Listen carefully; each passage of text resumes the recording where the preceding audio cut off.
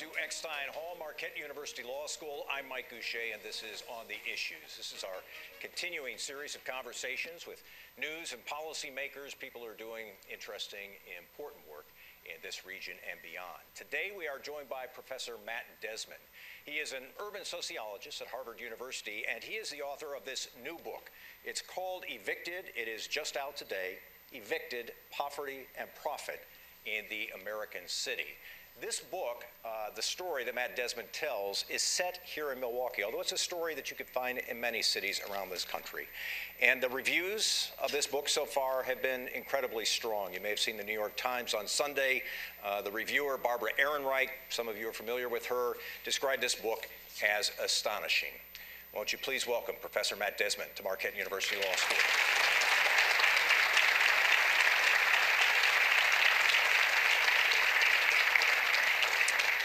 So, how did Evicted come to be? How did you end up in Milwaukee, and how did you end up writing a book about yeah, what you found in Milwaukee? Yeah, yeah. First of all, I just want to say thank you, everyone, for coming. It's a truly an honor to be here, especially given the weather. So, thank you so much for coming out today. But this you're not surprised that they're here. You, you've no, no, no. I, I, you know, I thought, you know, I looked outside. I was like, they'll still be here. You know, this is Milwaukee. You know, this is, you know, there'd have to be some serious right. event to shut the city down. So. Um, so yeah, so I started this book because I wanted to try to write a different kind of book about poverty in America today.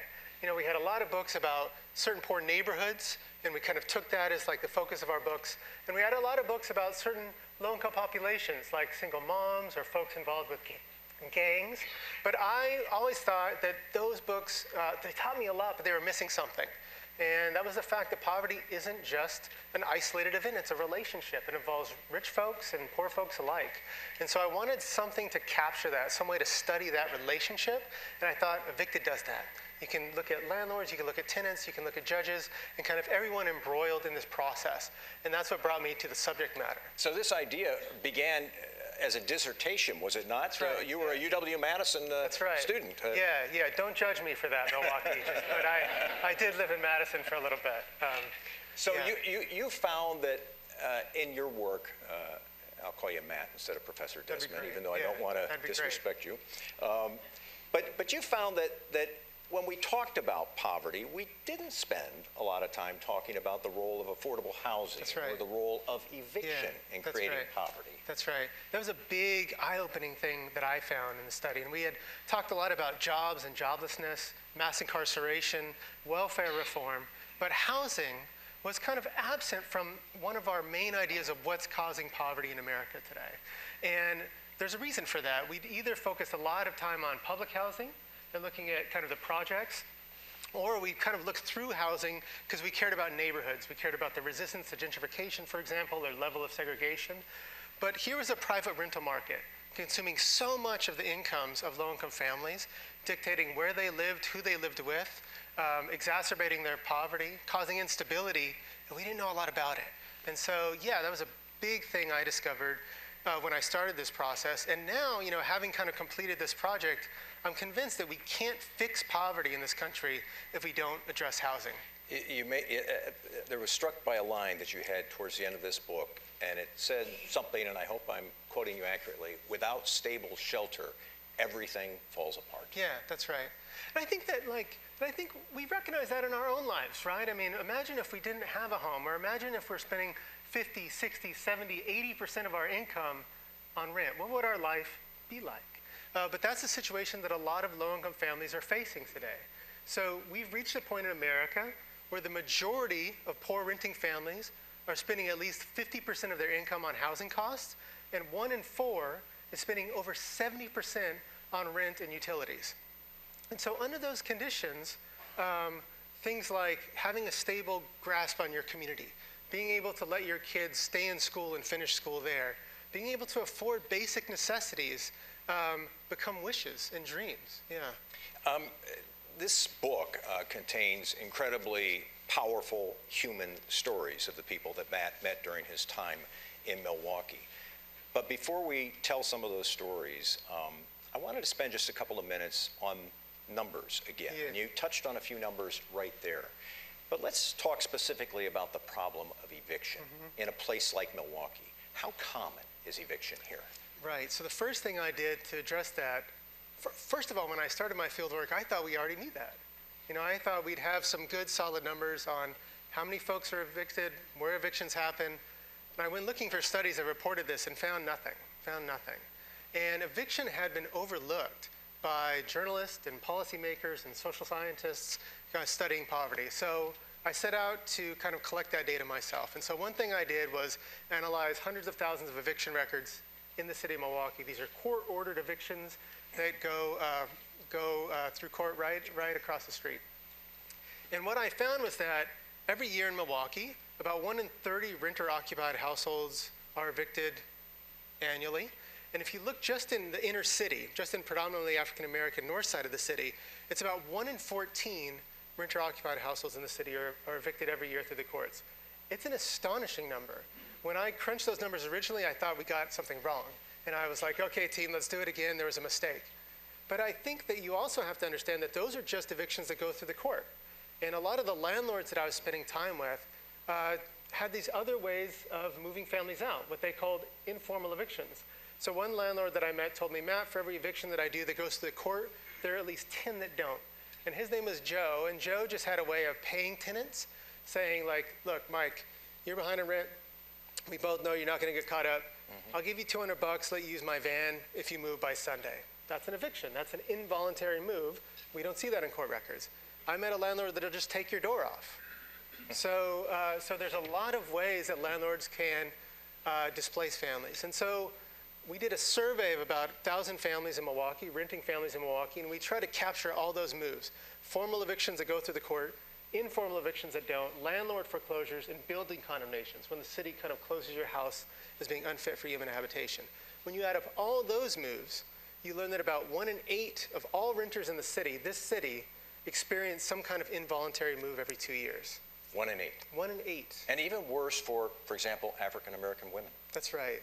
That's right. And so if anyone spent time in eviction court, you can see that the face of America's eviction epidemic is moms with kids. It's moms with kids. And it's especially moms with kids from low income African American neighborhoods and low income Latino neighborhoods. So in Milwaukee, uh, African American women renters, about one in five of them report being evicted sometime in their life. And for white women renters, it's about one in 15. So this is why I kind of came to this realization by looking at the numbers, but also just by spending time in court and kind of getting a sense of uh, evictions on the ground, that if incarceration has become this typical, extremely consequential experience for, for African American men from low income communities, eviction has become uh, the equivalent for African American women from those communities. Give people in this room and on, on television a, a sense of how many evictions we're talking about in a year, for example, in Milwaukee. Uh, Milwaukee does about 16,000 evictions uh, every year, formally. So that, that amounts to about 40 people a day in the city of Milwaukee evicted, including a day like today. Including a day like today that's cold, that's snowing, that's windy, the trucks are out today. There are businesses who do really nothing but help with evictions, are there not? There are. There are moving companies. There are companies that collect eviction records and sell those to landlords so you can keep track of evictions. Uh, there are sheriff deputies whose full-time job basically is to execute eviction and foreclosure orders. Um, court commissioners often have to hold court in offices that aren't offices. They're kind of storage units or settle things in the hallway. So eviction has kind of stretched the capacity of our courts, and it's, also, it's also given rise to uh, given rise to uh, yeah companies that come al- come along to triage uh, uh, this mess. Uh, you touched on the, the role of uh, affordable housing or the lack of affordable housing in, Yeah. in this problem. And I want to transition into your personal experience here, and this is what the book is about. Uh, you came to Milwaukee in 2008, and so people are looking for affordable housing. Yeah. One of the places they found it was at a trailer park on Milwaukee's south side, College Avenue. That's right. Um, tell us about that place. You lived there for a while. Right. Tell us about that place. So I moved to Milwaukee, and then I was like, okay, how do I meet families experiencing eviction? Where do I go? And um, so I opened the paper one day, and the Sentinel had a story of a trailer park that was facing um, uh, was facing a dispute with the city, and the city was threatening to close the trailer park down because it had so many code violations and police calls. So, like any good ethnographer, I I went down and rented a trailer in that trailer park because I thought, well, maybe we'll, see, well, this will be a site of mass evictions. That didn't happen, but it was a place to see kind of normal everyday evictions going on. So it was a 131 trailers on a skinny strip of asphalt. Um, most of those trailers are quite old, built in like the 1970s. Um, most folks there uh, uh, were working kind of in diners or nursing aides. Uh, there are folks on welfare there and disability. Most folks there were very hard up, but they were holding on to that trailer park. They were very nervous that um, that if, you know, if the city did close it down, uh, they didn't know where they would go. I was struck by something you said. Uh, you lived there for a period of months, and you said your trailer, I guess, was one of the, the nicer ones, but it still had no hot water for the time water. you were there, yeah. even though the landlord knew that you were writing a book about this experience. That's right, yeah, yeah.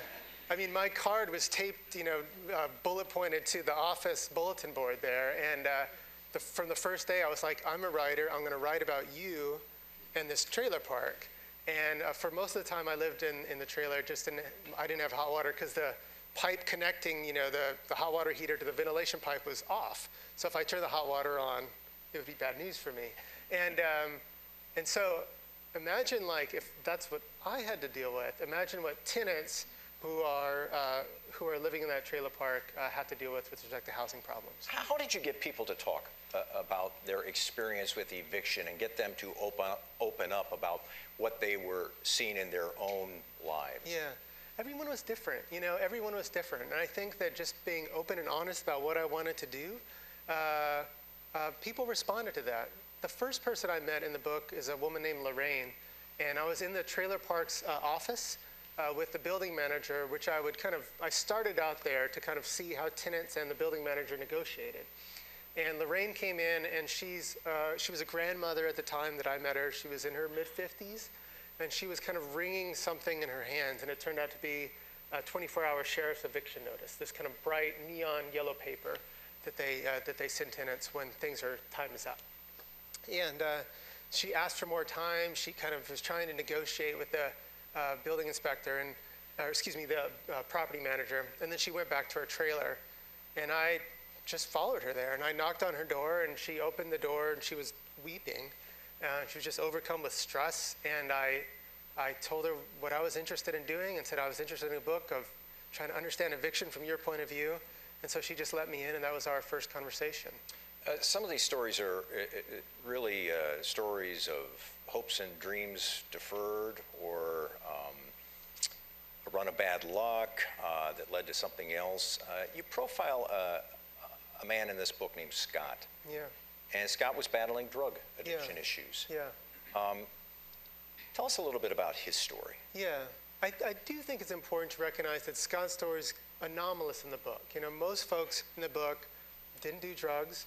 Most folks in the book didn't drink alcohol, which uh, which was disappointing to me because I, you know, I like to have a drink after a hard day, and um, and they weren't having it. And um, uh, but Scott did. Scott wrestled with an opiate addiction, and he uh, used to be a nurse and uh, hurt his back. Well, got prescribed painkillers um, during a time when prescriptions for opiate painkillers were going up and up. He got hooked, and eventually uh, that landed him uh, losing his, his job, losing his middle class home, and landing in a homeless shelter where he met someone, and then they moved into the trailer park. And so we see Scott uh, wrestling with that addiction. And Scott himself would tell you that um, it, was a, it was a failing on his part. You know, it was a weakness on his part. But he would also tell you that he thought there was some medical basis for this. There's some biological basis for this. And um, one thing that was striking to me was, you know, we see Scott kind of hit rock bottom in this book and then try to climb out, try to do something about his addiction and seek help. And one thing you do when you're at that point, you try to get help from the free county clinic. And this is what that's like, okay? You got to wake up at dark. And you go, uh, you drive to the county clinic and you go up and you hope that you're the first one, but you often aren't. You know, and the elevator doors open and there's a line of people that are wrestling with addiction sitting there, uh, you know, an hour, two hours before the doors open. And there's a scene in the, Scott, in the book where Scott confronts that sits down for a few minutes, and then kind of goes up and leaves. And he could have he could have waited it out. He could have gone the next day and the next day, and he would admit to that. But I think there's something wrong in this country where we don't have enough aid and we haven't dedicated enough help to people that are struggling with addiction. They're act- actively reaching and trying to help. You know, when they, they line up in that line and are turned away day after day after day in a city like Milwaukee. Scott eventually did climb out of addiction in this book. And part of that reason, the reason he did, was because he found stable housing. He was able to kind of find a small apartment through a program called the Guest House and land and stable housing, and kind of uh, that was a very sturdy foothold for him to kind of finally beat this monster. How did people who were living in the park, uh, uh, the trailer park, feel about their landlord, uh, Yeah. the man you describe as Tobin Yeah. in the book? What was the relationship Yeah. between landlord and tenant? mixed, mixed. You know, so some people called Tobin greedy and um, and a jerk. You know, and some people called him a good man and an honest man. And um, one thing that I really cared about going into this project is why would someone own a trailer park? Why would someone own property on 22nd and Atkinson? Like, what's going on? And uh, one of the things I wanted to know is how much money are they making? How much money are they making? And, um, and so I looked at Tobin's uh, rent rolls, calculated his mortgage payments, uh, property taxes, water bills, paid attention to missed payments. If you add all that up, you come to this figure that uh, the owner of uh, one of the worst trailer parks in, at the time, the fourth poorest city in the country, uh, was making over $400,000 uh, every year after expenses. So what does that mean? That He's from Illinois, right? He was, yeah. that's an important point for this room. I recognize that he was doing time in Illinois, as say. Yeah, um, that's right. 400,000. Over $400,000 a year. And so that means he's making 35 times what his tenants working full time for minimum wage were making. The tenants had that idea in their head. They kind of knew that there was a vast amount that separated uh, their poverty from his security. But they weren't focused on that. They were focused on much more smaller, tangible issues. Can he make sure my bathtub doesn't sink through my floorboard? I hurt my back at work. Can he let me slide for a few months? Um, my daughter needs some medical expenses. Can he get me through that? And sometimes he did, and sometimes he didn't. That's, that's really where their focus was. After you uh, stayed at the, uh, the trailer park on the south side, you moved to the north side to a Yeah. rooming house at uh, First and Locust. First and Locust, yeah. And uh, you met another uh, group of individuals, and, and I'd like to talk about some of them because it's, it's about eviction in a different part of town.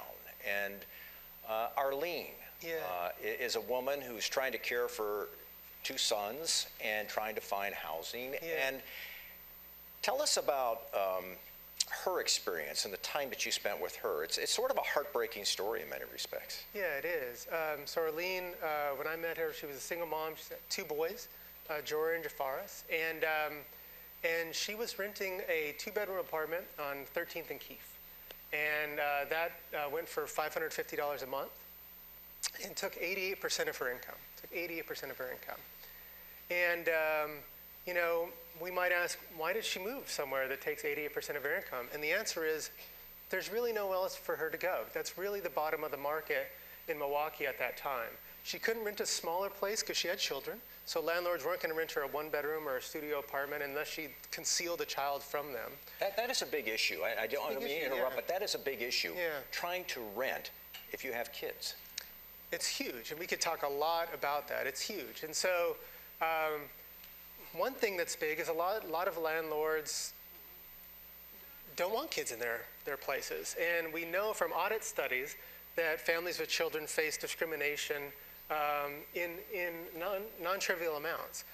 We know from surveys of landlords that a lot of landlords don't recognize that even as discrimination, as they'll know that, okay, I, gender discrimination and racial discrimination, we recognize that is illegal, but you can still have adult-only properties. It's actually against the law, but a lot of folks that are operating uh, in the city uh, don't recognize that. So Arlene, that- I didn't mean to interrupt you, but uh, yeah, yeah. So when I met Arlene, uh, she was under this circumstance, and just a circumstance that I think that any of us um, would be crushed by. And I think that's an important thing to recognize that for someone like Arlene, it's paying 88% of her income to rent. It doesn't take a major shock to lead to an eviction. It doesn't take a huge family emergency, a car accident, a robbery. it can take something very small because your grasp on housing is so tenuous. And so for Arlene, what started it was a, a funeral, was death. And her sister died. It wasn't her sister in the biological sense, but in the spiritual sense, a very close friend. And uh, she decided to put in some money for the funeral. Uh, she didn't have the money, but she made that decision. She thought she, it, would, it was the right thing to do. She would have been ashamed if she didn't do it. And uh, the landlord let her slide that month. But the next month, she missed an appointment with her caseworker. Arlene received uh, welfare at the time. And she missed an appointment with a caseworker because a letter uh, announcing the appointment was mailed to an address that she had been previously evicted from. And the caseworker typed something into the computer and her check was sanctioned, which means it was, it was reduced. And, uh, and so she was two months behind and she got the, the pink papers and started this process of, of trying to find housing and moving from homeless shelter, um, friends' couches, um, and trying to look for housing. And one thing that I found by just spending a lot of time with Arlene is just how exhausting and draining it is to find housing after you've been evicted, How, especially. how many places did she look at, So inquire about? after this point, um, she looked at 20, and then 40, and then 60, and then 80. Like I counted, I recorded all this. And she had been refused by all of them. And part of the reason not only was her poverty, and was not only was her boys, but was also her eviction record. So evictions are uh, come with a, a court record, just like uh, any other uh, court record. They follow you around, and they could have consequences. And a lot of landlords view an eviction as kind of a it's a deal breaker. And so many landlords refuse to rent to tenants with evictions within the last two or three years. Public housing authorities also count evictions as a strike against your application. So that means that if Arlene wanted to apply for public housing, she not only would have to wait several years until the list unfroze, and then several more years until her application made it up, but then once it made it up, she'd have to just pray that the person reviewing her application would ignore the eviction record that she'd collected while trying to make ends meet as a single mom in the private market on a welfare check. And so that eviction record was following her around and causing a lot of landlords to say no. And that's one of the reasons that people like Arlene move, uh, get evicted from poor neighborhoods and they move into even poorer neighborhoods. They get evicted from high crime neighborhoods and move into higher crime neighborhoods. And this is something that I know not only saw myself on the ground, but also uh, uh, found in statistical work about this as well. I'm trying to remember, but I, I think you said in the book that her, her boys had been in six different schools in one year or something like that.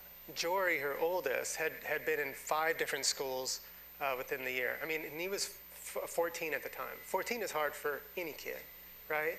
14 is ridiculously hard for a kid who has to face homelessness and that level of residential instability. But the saddest thing, maybe, is that for Jori, it had become normal, you know, and it becomes something that when I asked him, I asked him one time, you know, do, do you care about switching schools? He said, no, I do it all the time.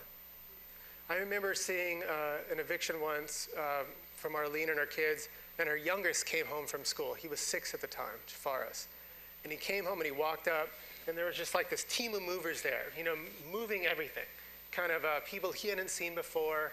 Uh, Arlene was surprised by this for reasons that I explain in the book. And his reaction was nothing, nothing. He didn't go grab a favorite toy, he didn't cling to his mom, he just turned around and walked back outside to play with other kids.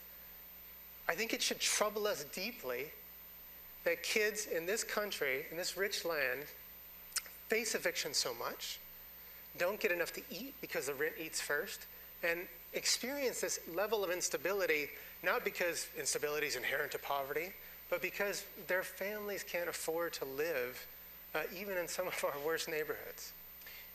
I want to look at the other side of this equation. and- Yeah. And you do this in your book, and I think it's actually one of the strengths of the book that not everybody's wearing a white hat or a black hat in this book. Yeah. Uh, people are like they are in real life. They have lots of layers to Yeah. to who they are. Um, you spent a, bit, a good bit of time with a couple of uh, landlords, a couple, who own a number of properties on Milwaukee's north side. Uh, Sherrena, Sherrena, that was Quentin. Arlene's landlord. Yep, yeah, yep. Sherrena and Quentin. What do they say about why people are evicted? What's the landlord side of this story? Yeah, yeah. I knew that it, if I really wanted to understand the role of housing in creating poverty in this country, I had to get the landlord's perspective. I mean, these are folks that literally own the inner city. you know, and so not everyone that's uh, in a poor neighborhood has a boss, a preacher, a social worker, not a member of a gang, but almost all of them have a landlord. You know, these are really important folks for our, um, for our understanding of how cities work and what and kind of the texture and everyday lived experience of poverty. And so Sherrena owned 36 units. Uh, all of them were on the north side of Milwaukee. Uh, when I met, she had been a landlord for about four years. Before that, she was a public school teacher, taught fourth grade in uh, Milwaukee Public Schools. And she saw herself as kind of a charitable businesswoman. She was proud of her business. She felt that um, she had kind of uh, earned it, you know, from the ground up, that she had built something. And she kind of found a calling that she was good at, which was inner city entrepreneur. So besides being a landlord, she also had a business that transported folks upstate to visit their relatives that they were locked up. She had a credit repair business. She did rent to own. And she was very proud of these ventures. I think she would say that it's very difficult um, owning and operating property in some low income communities. And she has a lot of, uh, she has war stories. You know, she has a story about a time when a disgruntled mortgage customer uh, threw a firebomb through office window. She has a story about uh, tenants stuffing socks down the sink and turning the sink on full blast before moving out. Um, and I've, I've seen some of these firsthand. And, and, and, and so it's, I think it's absolutely essential that we complicate this relationship. And I think we let ourselves off the hook if we say, oh, it's the tenants, they're irresponsible, or oh, it's the landlords, they're greedy. It's a lot more complicated than that, and I think the book tries to really bring out uh, that complication. What is the lure of doing business on the north side of Milwaukee? Uh, there are a fair number of people who are struggling. Yeah. Uh, income is a bit more tenuous uh, Yeah. in some cases. Why does Sherrena, why, why did she see profit on, Yeah. on the north side? Yeah, because there is profit there. There is profit there. And this is a this was a big realization for me working on this book. I went in, you know, wondering why, you know, people in trailer parks are on, in, in the inner city, and I left thinking, why wouldn't you? Why wouldn't you? Because the profit margins are real.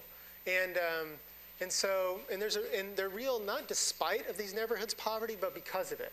So what makes homeowning owning like a risky venture in low-income neighborhoods makes landlording uh, potentially lucrative. You can buy property uh, for low. You can have a very low mortgage payment. You can have a low tax payment, uh, but you can rent it uh, at a decent rate. Now, rents in uh, low-income neighborhoods are lower than they are in more affluent neighborhoods or Wauwatosa, but they're not three, four, five times as much lower. But property values are that much higher in more affluent neighborhoods. So, just one example: rent, uh, median asking rent for a two-bedroom apartment in some of the poorest neighborhoods of Milwaukee, neighborhoods with over 40% of folks living in poverty. It was about five, uh, 550 a month uh, in 2010. It was only $50 less than the citywide median. Okay? So that means you're able to buy property low, uh, but rent it basically at, at, a, at a decent rate. So the returns are very good. I talked to a landlord whose name a lot of folks that follow the Milwaukee Press would know. He owned over 100 uh, properties in the inner city. And he told me, Matt, I started out in Brookfield, Brookfield and I lost money. You know, but I, I went to the inner city and, uh, and I gained money. You know, I made a profit. And he said, You're not in it for the future, meaning appreciation, you're in it for the now.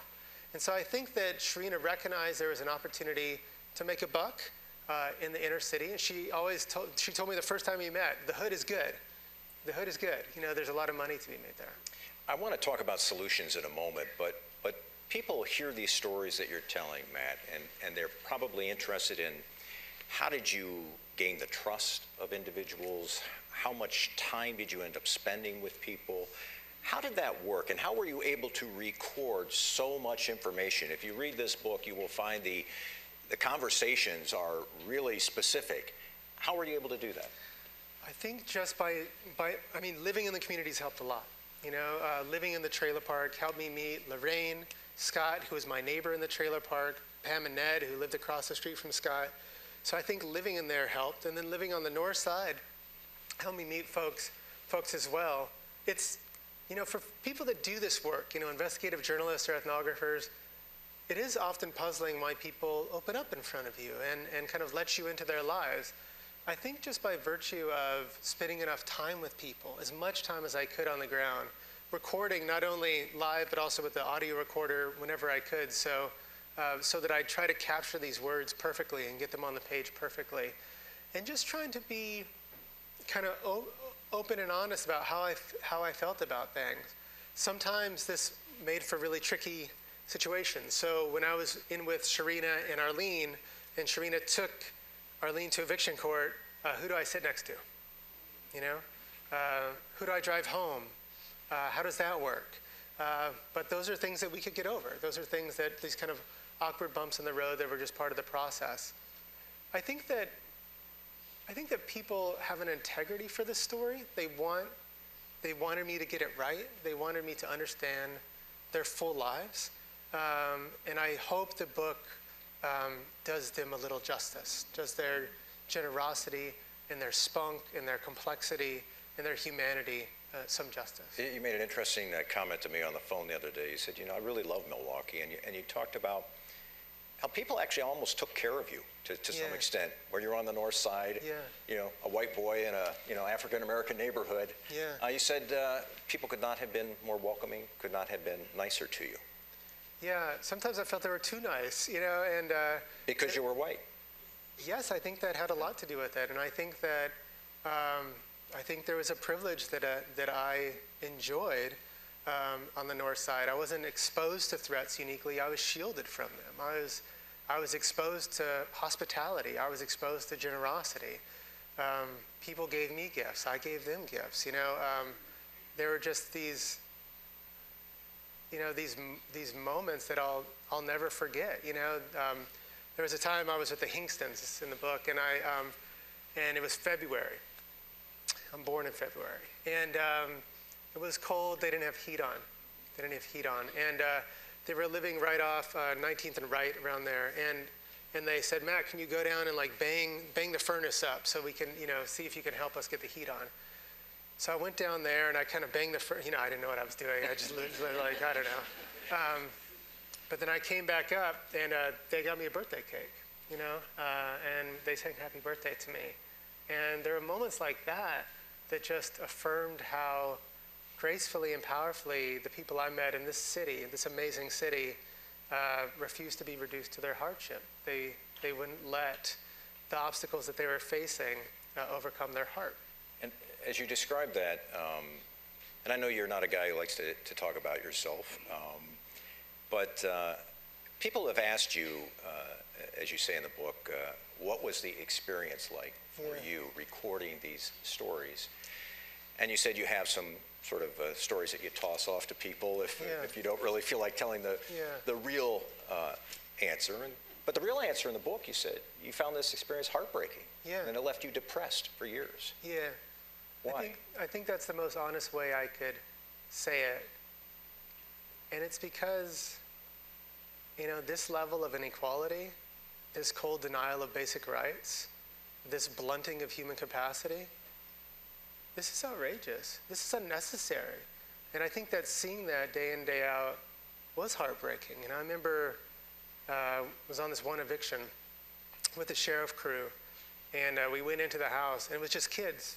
It was just kids, and uh, the mom had died, and the kids just had went on living, and it was raining, and the sheriffs moved the kids and the stuff out, and they closed the door, and then it was on to the next eviction and the next one, and I think seeing that stuff affected me. I think it should have affected me, and it kind of stuck with me. But there was also these other things that stuck with me. And um, so I'll never forget this one day. Um, uh, it was with Vanetta and Crystal, and there were these um, women that had met at a homeless shelter, um, the Salvation Army homeless shelter, which uh, a lot of folks just call the lodge. So you could tell your kids, like, we're staying at the lodge tonight, like it's a hotel. And, um, and they were homeless, looking for housing. And um, they were McDonald's eating lunch, and this boy walks in. And he was like nine or 10. Uh, his clothes were disheveled. And he didn't go up to the, um, to the counter to order. He went around to the tables. He was looking for scraps. And, uh, you know, Vanetta and Crystal turned to each other and they said, like, what you got? And they pulled their money and they bought him lunch and they sent him on his way. And I think like those are the moments that buoyed me through that hard time, and those are the moments that um, that really reaffirm the fact that um, you know the poor don't want some small life. You know they don't want to eke out an existence. They don't want to game the system. They want to contribute and they want to thrive. They want to become nurses. That was Vanetta's dream. They want to have their own charities. That was Arlene's dream.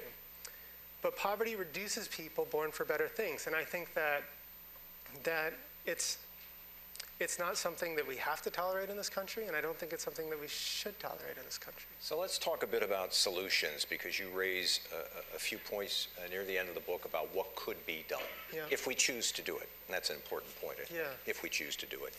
Uh, let's walk through a couple of these. Housing court. Yeah. You said you'd like to see people, the tenants who are being evicted, have representation, and that so often does not happen. Right. So if you uh, get arrested for a criminal crime and you are indigent, you have a right to an attorney. We know this, right? Um, and we know this because of Gideon versus Wainwright. We're at a law school, so we could quote some cases. And Supreme Court unanimously decided you can't have a fair trial without a lawyer by your side.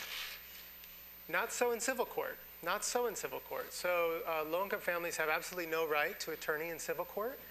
And uh, what that means is that in some housing courts around the country, 90% of landlords have attorneys and 90% of tenants don't. And so imagine you're a tenant. You have to go to court to face your landlord's attorney. Maybe you have a high school education.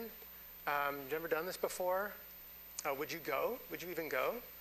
Most tenants don't. So 70% of tenants in Milwaukee summoned to eviction court don't even show up.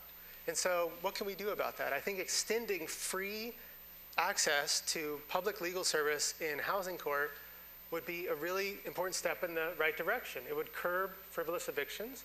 It would allow tenants to have their day in court, and they could have their day. You know, they could actually go to work or they could stay home and watch their kids while their attorney makes their case. Um, most cases aren't made today. So I think that you know this is something that's been this is a right that's been extended around the world, not only in like cases we always quote when we say that, like Sweden and France, but also India, Azerbaijan, Zambia, but really behind the times on this one.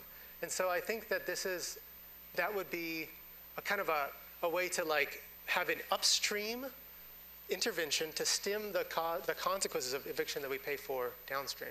Uh, public housing, I think there's a, a, a common conception out there on the part of people that, well, a lot of poor people live in public housing, but it's Right. not really the case, is it? It's not only not really the case, it's the opposite thing, right? It's the opposite thing. So the vast majority of low-income families receive no housing assistance whatsoever. About one in four families in this country that qualify for housing assistance receive anything. And let's just like pause on that statistic a little bit. Like, what if we turn away like three and four families that applied for food stamps, hungry? I'm sorry, you know, I'm sorry, I'm sorry, okay, I'm sorry, I'm sorry, I'm sorry, okay. That would be outrageous to us, but that's exactly how we treat like the basic human need of housing in the country today. And in big cities like Washington, D.C., the waiting list for public housing isn't counted in years, it's counted in decades. So, like, you could be like a young parent and you could apply for public housing in our nation's capital, and you could be a grandparent by the time your application is reviewed. So there's just not enough aid to meet the growing need. So, so you lean toward expanding housing vouchers, universal housing vouchers Yeah. for low-income people, period. Uh, Yeah. What do you mean? What would you like to see in a perfect world, your world? Yeah, I think that getting to this, getting to like what should we do about it, means answering another fundamental question, which is, do we believe that housing is a right? Do we think that access to decent, affordable housing is part of what it means to live in this country? Uh, I think we have to say yes to that question. Because, as you mentioned before, without stable shelter, everything else falls apart. This country affords us freedoms freedom to better ourselves, better our kids, improve our communities. But those freedoms are massively compromised if we don't have a grasp on stable shelter. And um, if that's the case, then I think that we need a way to deliver on that right. Something that's not just we need to build a little bit more public housing or invest in the National Housing Trust, but something that is on the scale of the problem. And the good news is we already have a program that works pretty well. And the other good news is we've already made massive like improvements in terms of housing. And I know that when we talk about these issues, it kind of feels like, ah, you know, are we, are we always going to live with this? Or is there anything we can do? And the answer is absolutely yes. You know, a few generations ago, we had slums, you know, ravaging our cities. You know, we had low-income families living without heat and running water. We had outhouses in the middle of Philadelphia. We've done a massive jo- good job of eradicating those problems from our country. And now we're facing another problem, which is unaffordability. The fact that a lot of low-income families can't afford a roof over their head. So what if we took this housing voucher program that we already have, sort of about 2 million households in this country, and what if we expanded that to, um, to all uh, families below uh, the poverty level or below a certain income level? What that would mean is people like Arlene, moms like Vanetta, uh, would not pay 70 or 80% of their income on rent. They pay about 30%. And they could take that voucher and live wherever they like to in the city as long as their housing wasn't too expensive or too shoddy. It would massively change the face of poverty in the country. Evictions might become rare again, like they were several generations ago. Uh, family homelessness would plummet. You know, moms would be allowed to invest in their kids and invest in their financial security. We know that after years on the waiting list, one of the first things families do when they get their housing voucher with their freed up income, one of the first things they take that freed up income is the grocery store. They buy more food. We know that their kids become less anemic. They become stronger. But most kids that are parts of low income renting families aren't so lucky, and their kids aren't getting enough to eat. We don't need to tolerate that. And so I think that there's a way of expanding that, and there's a way of doing it in a way that's cost efficient and makes sense. Because those are the arguments that you hear from uh, people who are skeptical of this. They'll say, isn't there a potential disincentive here for people to try to work more because Yeah. you're going to subsidize Yeah. housing? Uh, and, and then the other qu- question you hear is, how can we afford this as a country? We're facing, Yeah. you know, incredible debt. Um, how do we do this? What are your answers to those questions? Yeah. So to the first question, they're both fair questions. They're questions that have to be on the table. We've actually studied, uh, do housing vouchers, are they a disincentive to work? The research is kind of mixed. There's some findings that says, yes, it's a mild disincentive to work. There's some findings that say, that have null effects. But I think the bigger picture is like, you know what's the biggest disincentive to work? This massive unaffordable housing crisis we have on our hands. And so one of the findings that we found in a statistical study that we did is that eviction is actually a pretty darn good uh, cause of job loss. And anyone that's been through an eviction knows why. It's this consuming, stressful event. And it could cause you to make mistakes on your at your job. It could cause you to relocate further away from it. Um, it kind of takes over your life, and which is why you know workers in our study that experience an eviction are about 20% more likely to lose their job the following year, all else equal.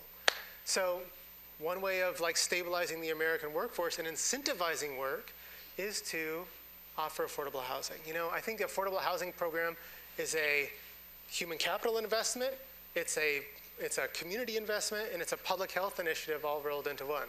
That would be my answer to the first question. My answer to the second question about affordability is twofold. One, I think it's important to recognize, can we just say, like, we already have a universal housing program in this country? It's just not for poor people, okay? It's for, it's for middle class and rich homeowners. So the year that Arlene was evicted, we spent, as a nation, about $171 billion on um, homeowner benefits, okay? We spent, during that same year, about $40 billion on direct assistance to the needy for housing assistance. So that number, $171 billion, that's like the entire budgets that year of the Department of Education, the Department of Veteran Affairs, the Department of the Interior, the Department of Agriculture, Department of Justice combined. It's large. It's a large number. So I think that if we're going to talk about affordability, can we afford this? I think we should at least be honest with ourselves about like the richest country on the planet can afford doing more. If poverty persists in this country, it's not for our lack of resources. We lack something else. But there's ways that we can do this that are efficient. And there's some economists that suggest that by just making the housing voucher program more efficient, work better, make it more cost effective, we could actually expand this in a great way without increasing spending. You want to have a conversation. I hear you saying you want to have a conversation about our priorities. We need to have a conversation about the fact that moms like Vanetta, um, have to choose between paying the rent or stocking the fridge. We have to have a conversation uh, that moms like Arlene can face eviction because she calls the building inspector on her landlord. We have to have a conversation about the fact that, you know, we're not evicting uh, folks in the tens of thousands or the hundreds of thousands anymore, but probably in the millions every year. That's leaving a deep and jagged scar on the next generation. That's why housing has to be in the center of the poverty debate. It has to be at the top of our poverty agenda because without addressing housing, we're not going to make a dent. We've got time for a few questions. Uh, uh, there are a couple of people in this room who have microphones. You can see them there. Um, if you have a question, please keep it brief and uh, talk into the microphone, and uh, we'll take as many as we can. Please raise your hand Hello. if you have a question. Right right. Oh, okay. I'm sorry. Go ahead, please. Hi. When you talk about affordable housing, how is the low-income tax credit program increasing the number of affordable housing units uh, in the city or in cities? And are they doing anything to solve this problem? Yeah. So a lot of the so housing poverty is vast and complicated, and there's a lot of things going on in cities. The low-income tax credit is a credit for builders or constructors that incentivizes them to set aside some affordable housing units for uh, low-income families. I think it's working. Uh, I think it's it's working. Some of the criticism to the, of that program is that it's it um, it doesn't serve the the poorest of the poor. You know, it serves folks that um, are more uh, what sociologists used to call lower middle class, or folks that just aren't the folks that make up uh, the evicted population in our cities today. I'm, I'm open to whatever's on the table. You know, I think that a universal housing program is one of many solutions, and I think that different cities have different needs. So what works in Milwaukee might not work in Atlanta or New York City or San Francisco. But let's have, let's have the conversation and let's put the low income tax credit on the table too. Let's take a question over here. Yes, sir. Hi, I was wondering, um, you talked a little bit about eviction on the north side, a little bit kind of with white eviction. Can you talk about how eviction is maybe different or similar for the Latino population here in Milwaukee? Yeah, one thing that we found when we looked at the Latino population here is that they were hit extremely hard by the foreclosure crisis. And so uh, Latinos in the survey that we did um, have uh, very high rates of forced displacement when you, when you look at landlord foreclosure. The landlords that are losing their properties and tenants have to move because of it. So on the, on the near south side of Milwaukee, they were, they were hit uh, exceptionally hard by the foreclosure crisis, which is something we also see in, in national data. Let me go back here. Yes. What would you expect from a law like one recently and very recently signed in this state that actually makes it easier for landlords to evict people based on allegations of behavior of the tenants or their guests? So this is a law that uh, that uh, this is a law that's does, I, I guess my understanding is designed to expand landlords' power in a way. I think that's accurate. Um, okay, I mean, I I I don't think that um, if there's a power imbalance, that's not the um, that's not how the scales are tilted. Um, and so I think that I think that the biggest problem is the lack of affordable housing. And if you if you're holding on to your housing with such a loose grip, if you're moving in and not able to pay first month's rent, last month's rent, security deposit, you're behind from day one and at heightened risk of eviction. So this law, in a way, reflects maybe the status quo for low-income families more than it does exp- expand power uh, in, that way. I, am sorry, I don't know the ins and outs of this law. I, I, I know it kind of just, just made the newspaper a few weeks ago, but forgive me for not being uh, up, up on it. Yes. In the last five years, Wisconsin has stripped away a lot of the tenants' protections. So a lot of this is the solutions you're talking about are legislative solutions. Did you interview, did you talk to any of the Wisconsin legislators in writing your book and getting stories from them? Sure, absolutely. But I think that I think that if you and I looked at the tenant protections that were on the books in Milwaukee, uh, I think we'd say that's pretty good, pretty fair. Um, you know, if, if your landlord doesn't fix an appliance, you can withhold the rent, not only by putting it in escrow, but literally keeping it. Um, building inspectors uh, are mandatory, are, are, they, they, they respond in a mandatory way when you call them to report housing conditions. So I think that there are certain laws on the books now in this city uh, that seem to be working and seem to be fair. But again, if you if you're someone like Arlene, um, those laws really don't apply to you. Not because um, landlords can execute retaliatory evictions and those are legal, they're not, but because you can evict someone at any time for being behind in rent.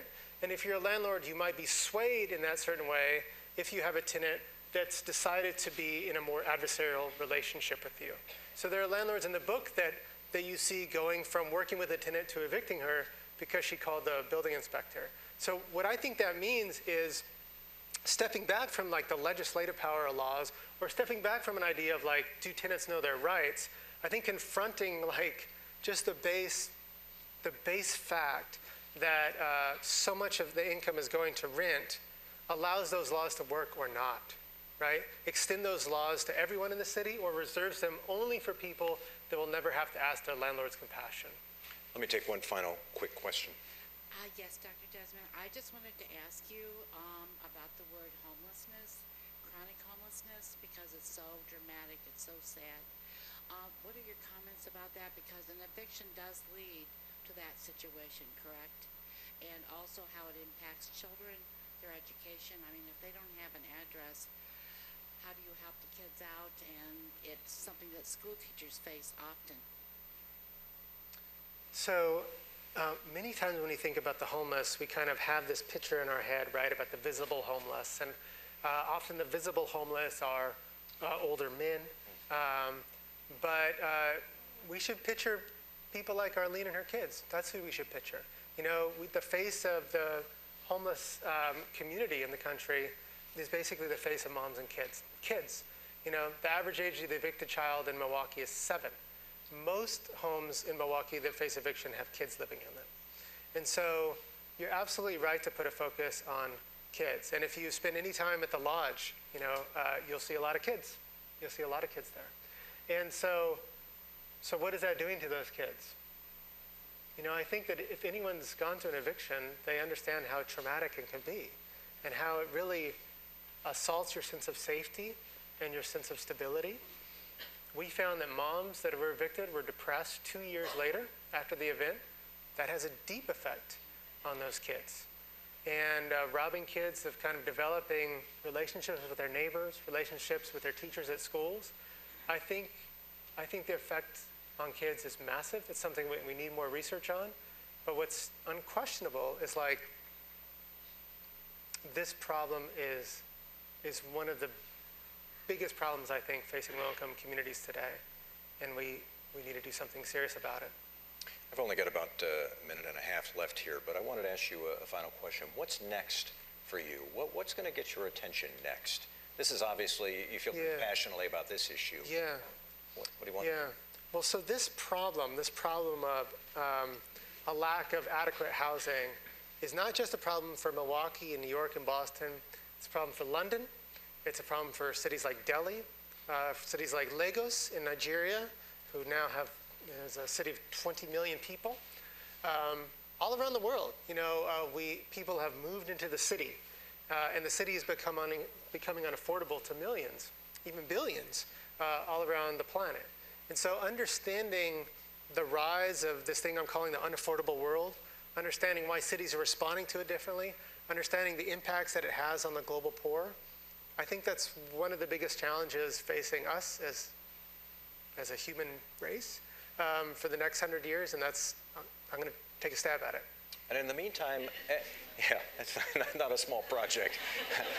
I should say one of the interesting things about this event, and, and tonight you're going to be at uh, Boswell Books, but you're still staying in touch with people you Yeah. met during the project. Yeah. Is that, that that's important to you, isn't it? It's very important to me. I mean, uh, we're friends, you know, and um, and I've watched uh, kids grow up. And when I come back to Milwaukee, which I don't do enough, um, but I wish I did, I, you know, we visit and we catch up and we text and we call each other. And um, that's been a, a beautiful part of my life, and I'm very grateful for their friendship and everything that they've taught me. We are uh, very grateful for your attention, your interest uh, in today's subject. We want to mention again that the name of the book is Evicted Poverty and Profit in the American City. Its author is Professor Matt Desmond from Harvard. We are delighted that you would uh, do your first event in, uh, behind the new book here at Marquette Law School. Thank you very much. Thank you so much.